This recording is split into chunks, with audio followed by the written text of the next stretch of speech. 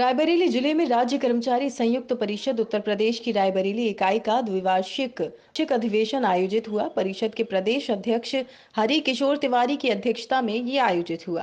कार्यक्रम में अध्यक्ष ने कहा कि ये कार्यक्रम कर्मचारियों से संबंधित विभिन्न समस्याओं को लेकर विस्तृत चर्चा हुई।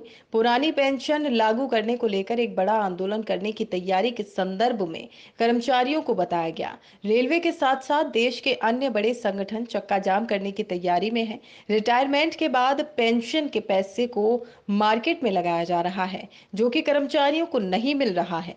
नौकरशाही द्वारा सरकार चल रही है, आवारा पशुओं को पकड़ने और खदेड़ने के लिए सरकारी कर्मचारियों को जो ड्यूटी दी गई है, उसे आदेश का भी कर्मचारी विरोध कर रहे हैं। जिला पंचायत के सभागार में यह कार्यक्रम आयोजित हुआ था।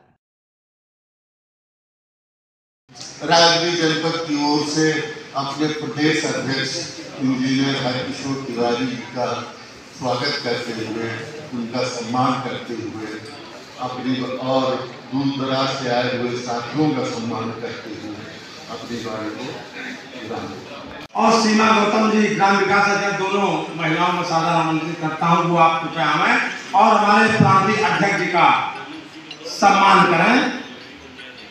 बुके देकर के सम्मान करें प्रांतीय अध्यक्ष रामा यादव जी और सीमा गौतम जी। मैं हरकिशोर तिवारी प्रदेश अध्यक्ष राजपूत जयसर कौशल। आज किस विषय को लेकर आज संयुक्त कर्मचारी संघ की यहाँ बैठक हुई है? क्या हुआ है आज? आज ये हमारा द्विवार्षिक अधिवेशन होता है हर दो साल में पूरे प्रदेश में हर ज़िले का होता है। प्रदेश स्तर पर भी होता है। उसी संबंध में आज हम लोग यहाँ आए हुए हैं। तमाम सारी समस्याएँ हमारे प्रदेश स्तर पे जिलों में अलग से रहती हैं। आपने देखा जैसे भी सुना भी होगा कि ज़िलों में तमाम सारे अधिकारी मनमानी करते हैं। वो नियमों को ताक पर रखकर काम करते हैं और उत्पीड़न करते हैं तो उसका भी हमारा परिषद उनकी बात करता है, उनकी जायज़ बात को सुनाता है।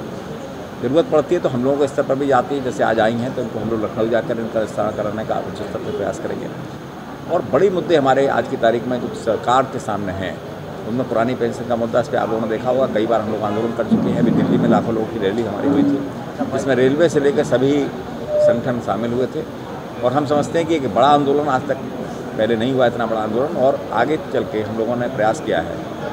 मन बनाया है कि रेलवे से लेकर जितने सेंट्रल गवर्नमेंट के एम्प्लॉय हैं, वो सभी लोग पूरे देश का चक्का जाम करके बंद करने का प्रयास एक बार करेंगे इस जायज़ मुद्दे पर, क्योंकि मुद्दा बिल्कुल जायज़ है। रिटायरमेंट के बाद शेयर मार्केट में पैसा हमारा लगाया जा रहा है, जो हमको मिल नहीं रहा है।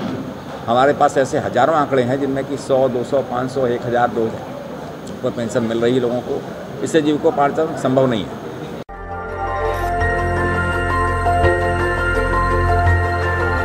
देखते रहिए डीबी भारती समाचार नज़र हर खबर पर।